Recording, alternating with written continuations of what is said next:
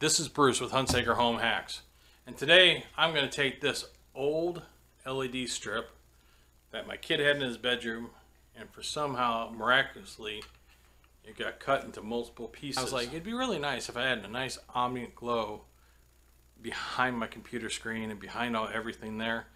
And I was like, I got those LED lights. So maybe I can take these LED lights and put them behind my computer. Well, I looked through a bunch of other stuff I had and I was like, well, I don't have any RF controllers. I don't have, I have some IR controllers, but they're only 5 volt controllers and these are 12 volt lights. What else can I do? So as I was going through everything, I found my old adapter box. You never know when you're to need a good adapter. So I went rooting around here and I found a 10 volt adapter. take that adapter and hook it to these lights. I'm to show you how I take these LED lights and turn them into ambient lights using an old adapter. Don't touch that dial, stay right here and watch the rest of the video and I will show you how I do that. Okay, so here we are at the table and I did a couple things already just to save time and make it easier to explain but it's pretty simple. I soldered two wires onto the LED light strip. One to the 12 volt connector which I made red and one to the blue which I made black. That way we which know we know which way the current's going. Here's my adapter. Alright, this is the adapter I use.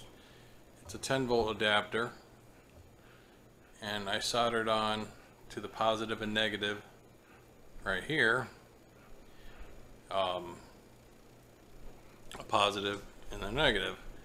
I also took from the other thing this connector to hold the wires in place. Laid out a breadboard right here of things I wanted to do and in this box. Basically this box is a converted um, cover to a adapter. Okay, here's my breadboard with my LED light. My jumpers preset for where I'm going to have them. I like to have my jumpers twisted up and neat and tidy so not all hanging all over the place. So what I'm going to do is I'm going to feed this through this hole that I pre-drilled right there.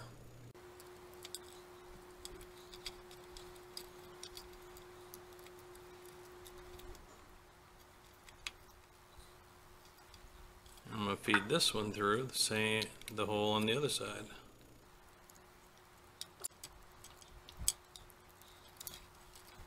Now we have these wires coming into our box. Now we're going to take our adapter, which is this guy right here, connect this power supply into here. Already preordained that was going to go there. We're going to take this and we're going to put it in here. We're just going to follow suit all the way around.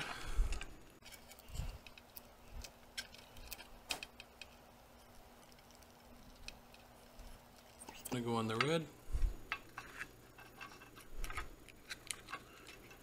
Bring this one in. We got a red in.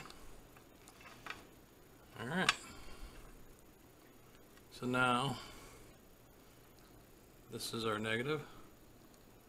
That's our negative jumper. And then we'll take this one. We're going to go right beside that one.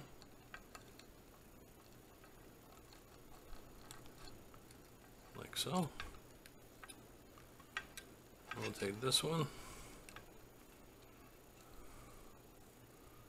We're going to go right beside that one too. Alright, so what we got here total we have 10 volts coming in from this puppy right here, from this adapter. So 10 volts goes into the board and it hits into this area right here. These LEDs are ran by 12 volts. So 10 is going to underpower them a little bit, but that's perfect. I didn't want to go full-blown power to it.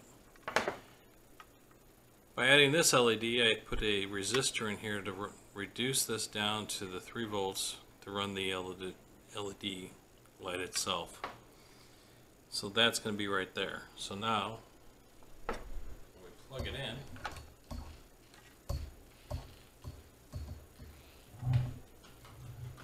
let there be light.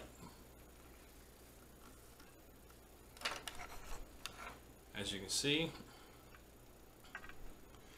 everything is now in working order. So, now the, my one concern will be these wires pulling out while I'm setting it up. So I'm going to take a little bit of glue, hot glue, and I'm going to glue these wires on both sides. Just because I don't want them moving.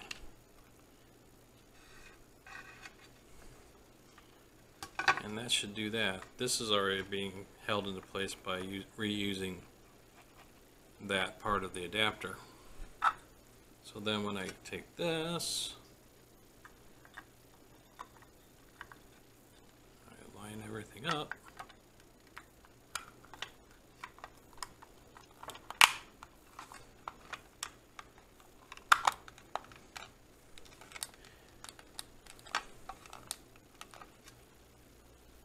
I now have my wire in the harness and my blue LED lights are lit up with my little red indicator light right there in this nice little secure box so everything's will be tight. The wire will be pretty handy. These are attached so they're not going to move around too much. And now I can mount it up into where I want it to be. Alright, so this is the end result. I took these old broken LED lights and used a 10 volt power adapter, soldered it in to a few wires, and now I have LED lights. Now I can also do this. Alexa, turn off desk. Alexa, turn on desk. Did I get them controlled by my voice? I got them controlled with my Bestten plug socket. I use the extra RF plug socket that I had to control my LED lights. Sometimes it's good to take something old and make it new again. I took an old power adapter. I converted old LED strips into useful Omniance light.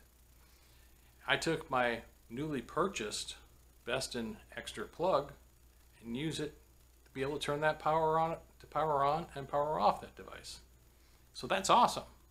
And I get the effect I'm looking for. So if you like the content of the video, please give me a thumbs up.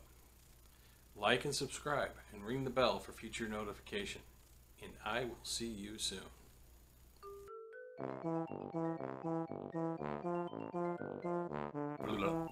That's what I was looking for. Really more? Million of them. Well, I have three.